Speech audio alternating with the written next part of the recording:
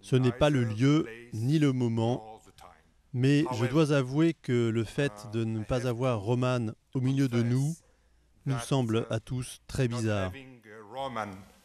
at the center of this podium seems very strange for all of us. Intense.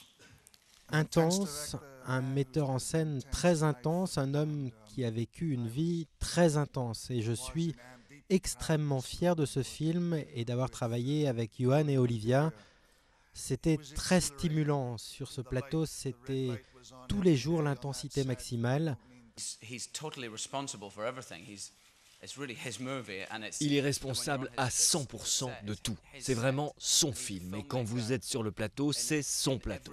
C'est un réalisateur dans tous les domaines.